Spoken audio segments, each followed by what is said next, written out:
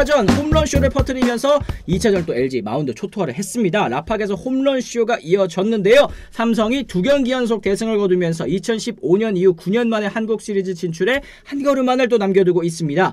LG와의 플레이오프 2차전 홈런 5방을 몰아치면서 10대 5로 승리를 거뒀는데요. 1차전에서 10대 4로 승리하면서 기선을 잡았던 삼성 2차전에서도 역시 타선이 터지면서 대승을 거둘 수 있게 됐습니다. 삼성 2번 타자 이제 김원곤 선수로 또 바꿨었죠. 1차전에서 2번 타자로 나 섰었던 윤정빈 선수가 4타수 3안타 3득점으로 맹활약했습니다만 LG 선발이 좌완 손주영이라는 것을 또 감안을 해서 2번 타자 김원곤 선수를 교체를 했는데 김원곤 교체한 것도 역시 적중을 했습니다. 음. 2차전에서도 삼성 타선 어김없이 터지면서 경기 초반 승기를 잡았는데 박진만 감독의 타순 변화 아 이것도 적중 계속하고 있네요. 음, 그죠? 지금 착두를 탔다라는 표현들을 많이들 쓰더라고요. 네. 지금 기용하는 선수들마다 어.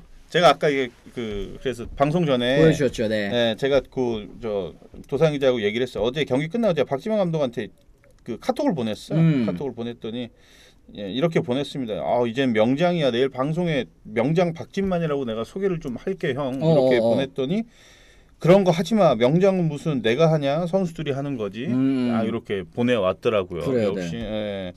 그래도 명장이라고 얘기를 했으니까 해줘야죠.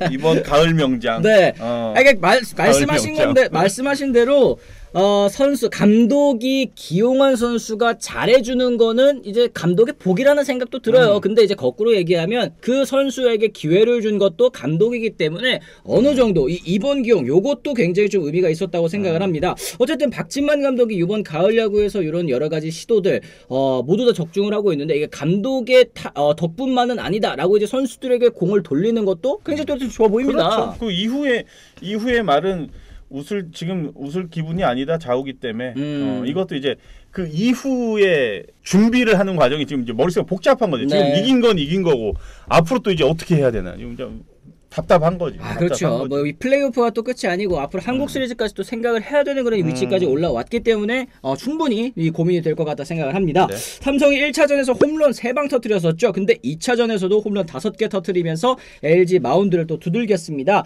2회 김영웅 선수의 또 솔로 홈런이 있었고요. 3회 디아즈 선수의 적시타 그리고 5회부터 장타가 폭발했습니다. 김헌곤 선수의 투런 홈런 그리고 6회에는 디아즈 선수의 또 솔로 홈런 7회에도 다시 김헌곤과 디아즈의 연타석 홈런이 나오면서 쐐기를 박아냈는데요.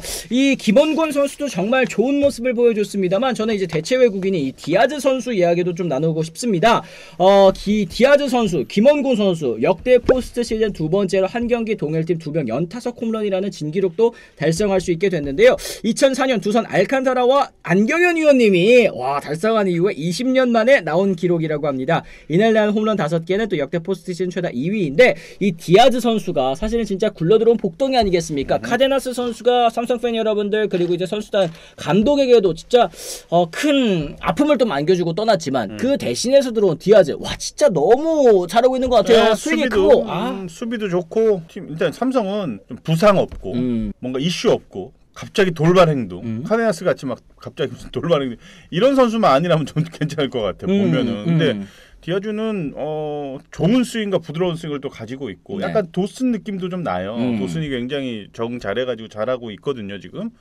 홈런도 많이 때리고 또 라파 라이온즈 파크가 규모가 그렇게 크지 않은 네. 어, 구장임을 감안을 하면 삼성이라는 팀에서 뛰면은 뭐 스물다섯 개에서 서른 개까지는 충분히 또 때려낼 수 있는 음. 어, 그런 선수고 지금 제가 볼 때는 뭐 올해 올해 지금 하는 걸로 봐서는 뭐 재계약은 뭐 거의 따 놓은 당상이 아닐까? 그러게요. 어, 네. 그만한 선수 다시 기대하면서 영입하기는 쉽지 않을 것 같은데. 음, 음. 네. 그러니까 디아즈 선수도 제, 어, 안경현 위원님이 제가 이제 여쭤봤을 때 어, 좋은 타자의 기준이라고 보시는 게 이 아크가 크다. 요 음. 얘기를 항상 해주세요. 근데 음. 디아즈 선수도 아크가 크다라는 얘기 전해 주셨었거든요. 음. 그러면 이제 스트라이크 존에서 약점이 좀 적다라는 뜻이기도 한 것 같고, 윤희 보시기엔 또 디아즈의 스윙 좀. 어떻게 판단하시나요? 저도 이제 네. 뭐저 같은 경우에는 일단은 어, 선관 자체가 굉장히 좀 좋아 보입니다. 선관. 음. 어, 선관이 굉장히 좋고 스윙의 폭이 크지가 않으니까 아크가 크다는 건 네.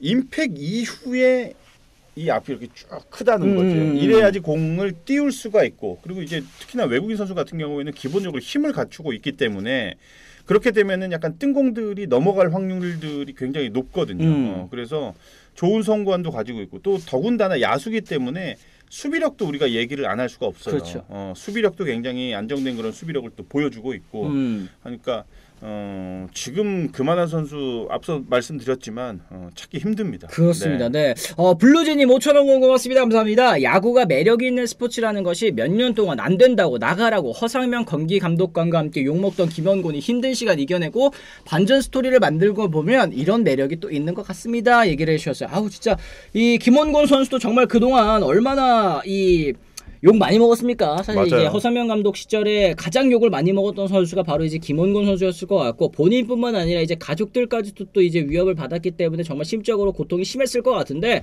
이렇게 또 이제 가을 무대에서 꼽히는 모습 보면은 진짜 감동을 느끼시는 분들 음, 충분히 또 있으시지. 않을까 네, 생각을 네. 합니다. 자 그리고 이제 원태인 선수에 대한 이야기도 같이 나눠봐야 되겠죠. 정규 시즌 15승 다승왕을 차지한 모습 그대로 보여줬었습니다. 어, 1회부터 실점하면서 조금 불안하게 실점 어, 출발을 했습니다만 점차 안정감을 찾아갔죠. 6.2이닝 동안 7피안타 볼넷 2개 삼진 3개 1실점으로 호투하면서 승리 투수가 되었는데 사실 1회 때는 많이 불안했습니다. 그러다 보니까 팬 여러분들께서는 이제 원태인 선수 잔류시키려고 남기려고 아 1회 이렇게 불안한 선수 어디 못 보낸다고 이런 얘기를 또 해주셨는데 1회 이후에 원태인 선수는 다시 정규 시즌의 모습 그대로 했죠. 1회의 피칭을 보면은 이 우리 이 스트라이크 존, S 존, 음. S 존에서 보면은 진짜 공 하나씩만 빠져요. 음. 전부 전부 다 보면은 근데 외곽에 있는 공들을 많이 노리면서 피칭을 했기 때문에 그렇게 미세하게 빠져나갔던 거지. 나는 음. 보면서 구속도 140km 후반대를 기록을 하고 있고 공이 스트라이크 존에서 많이 벗어나지 않는 그런 유형의 투수예요. 네네. 제구가 원래 좋은 선수니까 저는 1회 마치고 나서도 전혀 뭐 걱정을 하거나 이러지는 않았어요. 음. 어, 그런 생각 안 들었고 이제 남아 있는 이닝을 어떻게 소화하느냐보다는 과연 타자들의 득점 지원이 언제부터 지원이 되느냐. 음. 어, 이건 특히나 이제 원태인 선수 같은 경우에는 득점 지원이 돼야 더욱 더 집중을 할 수 있는 어, 그런 유형의 또 지키는 투수니까 리드를 지키는 그렇죠. 그런 그러니까 네. 그 정도로 어, 좋은 커맨드를 가지고 있으니까 음. 따라가는 경기가 아니라 리드가 돼서 지키는 경기를 하기에 정말 적합한 선발 투수거든요. 아 그렇죠. 어, 그래서 어제는 초반에 초반에 결국은 이제 어, 득점 지원이 또 되면서 음. 1회만 놓고 봤을 때는 5회까지 던지기 어려울 거다라고 생각하시는 팬들도 많으셨을 거예요. 네. 하지만 거의 7이닝 가까이 6과 어. 3분의 2이닝을 어, 소화할 정도로 그 당시 이제 교체가 되는 시점이 110개가 되지가 않았어요. 네. 어 그때 누구였죠? 신민재 선수 타석 때 아마 박지만 감독이 올라갔을 거예요. 음. 교체 여부를 물을 때 그때가 102개인가 104개인가까지 이미 100개 넘었구나. 네. 기록을 했었거든요. 근데 이제 어제 어, 결국은 뭐 에이스다운 그런 피칭 어, 뭐 보여주면서 이제 음, 앞으로 5차전 준비 만약에 간다면 간다면, 간다면 네. 5차전 준비 하겠죠. 아 그렇습니다. 지금 위원님께서 말씀해주신 대로 원태인 선수 정말 좋은 모습도 보여줬고요. 그리고 그 위기 상황에서 김윤수 선수가 딱 구원 등판에서 딱 잘 잡아내고 음. 또 내려간 거. 요것도 이제 결정적인 장면 중에 하나였던 것 같습니다. 아 그러니까 이게 삼성이 사실 약점이라고 한다면 이제 투수력이잖아요. 음. 이제 투수력. 왜냐하면 이제 뭐 이 코너 선수도 빠졌고 백정현 선수도 빠졌고 최주강 선수도 빠졌고 이러니까 선발 두렵고 불펜 하나 없이 이렇게 가을 야구를 시작을 하게 된 건데 이 원태인 선수가 긴 이닝을 소화해준 것도 너무 좋았고 또 이제 불펜에서 김윤수 선수가 또 이제 적재적소에 잘 활용이 되고 있는 것도 좋았고 그 이후에 이어서 나온 어, 좌완 이승현, 우완 이승현, 김태훈 선수까지도 딱딱딱딱 이렇게 잘 막아줬으니까 어제는 그러면 거꾸로 LG 입장에서는 이 1차전과 2차전 이 타선이 잘 터지지 않은 것에 대해서도 좀 얘기를 나눠봐야겠습니다. 타선은 사실은 뭐 물론 타선이 터지기만을 기대하는 거는 당연하죠. 음. 그거는 뭐 당연한 건데 어제 같은 경우에는 어, 특히나 이제 라이언즈 파크에서 경기를 하게 되면은 네. 제가 볼 때는 장타에 초점을 맞춘 음. 경기 운영이 반드시 필요합니다. 그래서 김범석 선수를 맞죠. 플레이오프 때 엔트리에 포함을 시켰고 맞죠. 네. 첫 타석 때 김범석 선수한테 1사 2, 3루에 빅 찬스가 옵니다. 근데 음. 삼진으로 이제 물러났죠. 물러났고, 네. 물러나면서 뭔가 어, 득점을 올릴 수 있는 기회를 어, 아쉽게 조금 무산되는 경우들이 계속 나왔던 거죠. 네. 그 이후에 사실은 완전히 원태인 선수의 페이스대로 흘러갔어요. 음. 그 만약에 거기서 역전 내지는 뭔가 더 추가점을 만들어낼 수 있는 어, 그런 득점이 됐다라고 하면은 또 경기의 방향은 달라졌겠죠. 네. 그리고 또 하나는 사실 어제 LG가 굉장히 아쉬웠던 부분 중에 하나가 3회 디아즈 선수 아. 타석 때 체크 스윙 동작이 네. 슬로모로 다시 한번 보여줬는데 돌았어요. 돌았어요, 돌았는데 네. 삼루심이 세이프를 했죠. 어, 세이프 세이프 이제 노스윙, 판정을 네. 하고 노스윙을 인정을 하고 그게 우전 안타가 됐는데 짧은 안타였는데 또 이게 홈까지 들어오게 됐어요. 맞아요. 행운의 안타. 네, 음. 송구하는 과정에서 뭔가 이제 저글 일어나는 거를 삼루 박찬도 주루 코치가 그걸 맞습니다. 파악하고 과감하게 돌려서 거기서 득점이 또 됐단 말이에요. 음. 거기서 사실은 2사의 투 스트라이크 이후였기 때문에 이닝이 교체가 돼야 되는 그런 타이밍이었는데 음, 어제는 그 흐름 자체가 돌이켜 보면은 어, LG한테는 어제 좀 운이 많이 따르지 않았던 그렇습니다. 어, 예, 체크 스윙 오심 때문에 추가 실점, 염경엽 감독 작심 비판, 심판이 경기에 영향 미치지 않았으면 요 체크 스윙 오심 같은 경우에도 계속 계속 나오고 있죠. 이제 ABS 도입 덕분에 이제 스트라이크 존과 관련된 이제 논란들은 많이 없어졌습니다만 어, 체크 스윙 요것도 근데 비디오 판독 그 여부에 판정 에, 포함시킨다라는 얘기 논의들이 또 계속 있어 왔으니까 내년에는 아마 좀 달라지지 않을까 생각을 하는데 이런 가을 야구 무대에서 이런 오심들이 나오지 않기를 바라는 마음은 양팀 팬들 여러분들 모두 마찬가지실 것 같습니다. 여기에서 또 분위기가 넘어갔다라고 이제 생각하면은 또 LG 팬 여러분들께서는 또 속상하실 수 있는 거고 그럼요. 혹은 이제 삼성 팬 여러분들께서는 아 뭐 한두 점 차로 진 것도 아니고 10대 4로 이긴 거면은 뭐 오심 하나 때문에 졌다 이거는 뭐 핑계 아니냐 이렇게도 얘기하실 수 있는 건데 그렇죠. 어쨌든 이런 얘기가 나온다라는 것 자체가 사실 이제 가을 야구의 이 집중도를 또 해칠 수 있는 거기 때문에 이런 부분도 심판 여러분들 잘 KBO도 그렇고. 이제 심판들도 그렇고 어뭐 비디오 판독 도입이 이제 시급하다 보다 더 정확한 판정 그러니까 일단 볼 판정 같은 경우에는 이제는 뭐 더 이상 뭐 따질 수가 없잖아요. 음. 우리가 다시 저 저 지금 ABS 지금 이제 다 시행을 해가지고 네, 네. 시도를 하고 있으니까 근데 체크 스윙마저도 이제 하게 되고 야 그럼 어, 진짜 비디오 판 그럼 심판이 심판 뭐해? 사람이 볼 수 있는 게 이제 없어지는 거죠. 아 그니까 그냥 기계가 그냥 시킨 대로만 하면 되는 오히려 거지, 이제. 그래서 그런 얘기들도 있잖아요. 심판들이 비디오 판독 있으니까 집중력이 떨어지는 것 같다. 맨 처음에 원심 때 잘 보면 비디오 판독까지 갈 필요도 없잖아요. 근데 그렇게 아, 눈앞에서 본 건데 이걸 왜 놓쳐? 집중 안 하고 있나? 이런 얘기들까지도 나오는 근데 게 그 판정이 번복이 되면은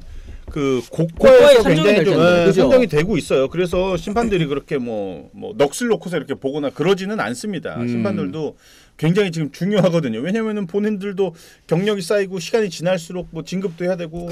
어, 연봉도 올라야 되고 이래야 되는데 고가가 떨어지게 되면 계속 제자리 걸음이니까 맞아요. 그런 부분도 어, KBO가 항상 긴장을 할 수 있게끔 음. 그런 제도를 마련을 했는데 어제 같은 경우에도 보면은 그 체크스윙 비디오 판독 이거 만약에 그게 도입이 돼서 그것까지 하게 되면은 음. 정말 신, 이 심판의 권위라고 해야 될까요? 이 위치가 너무나도 너무나도 좀 많이 어, 사라지는 어, 그런 상황이 되는데 과연 어떤 결정이 내려질지 음. 네, 우리가 한번 또 봅시다. 이것도. 그렇습니다. 네. 어쨌든 오늘은 아, 이 오심이 없었으면 하는 바람으로 저희가 한번 플레이오프 3차전 이야기를 나눠보도록 하겠습니다. 아, 오늘 아니죠? 내일이죠? 맞죠? 네, 네, 내일입니다. 아, 어, 이제 잠실로 또 돌아가게 되는 LG인데요. 어, LG와 삼성의 경기, LG의 선발 투수는 이제 벼랑 끝에 몰렸습니다. 임찬규 선수가 과연 또 팀을 구해낼 수 있을지, 그리고 삼성의 선발 투수는 황동재 선수인데요. 임찬규 선수는 포스트 시즌 두 경기 2승 1.59의 평균 자책점, 황 동재 선수 정규 시즌에서 1승 2패 4.07의 평균 자책점을 기록하고 있습니다. 황동재 선수 오프너인가요? 오프너 아닙니다. 선발로서 이제 기용이 되는 선수이기 때문에 가능하다면 긴 이닝을 소화해주는 걸 기대를 하겠죠. 음, 네, 올해 진짜 뭐 황동재, 김윤수 뭐 이런 선수들 이제 내년에 정말 기대가 되는 음. 이런 선수들이고 저는 진만이 형과 친하지만 네. 네. LG 임창규를 선택합니다. 3차전에서는 이제 LG가 한번 네, 또 반격에 LG 가 나선다. 어, 호락호락하지 않습니다. 음. 네, LG가 어, 3차전은 임창규를 앞세워서 어, 승리할 걸로 저는 예상합니다. 임창규의 컨디션도 상당히 좋고 네. 그리고 또 어, 조금은 다른 전략을 가지고 LG가 나오지 않을까요? 음. 어, 이제 국내에서 가장 큰 구장, 구장에서 이제 어, 경기를 하고 그쵸. 또 상대 팀은 가장 많은 장타를 때려내는 또 그렇죠. 팀인데 팀 타격의 컨디션 자체는 삼성이 정말로 좋지만 과연 그 좋은 타격 컨디션이 잠실에서도 나타날지 음. 저는 어, 조금은 음, LG 쪽으로 기울었어요 제 생각은 그렇습니다. 네. 일단 잠실에서 던진다는 거 임창규 선수의 또 공격적인 투구 내용과 맞물릴 수 있다는 생각도 드는데 이게 또 황동재 선수도 또 긁히는 날에는 이제 금동재 모드다 이런 얘기 또 많이 하시잖아요. 이 기대가 또 됩니다. 첫 가을 야구도 어떻게 펼쳐줄지 또 한번 지, 지켜보도록 하겠습니다.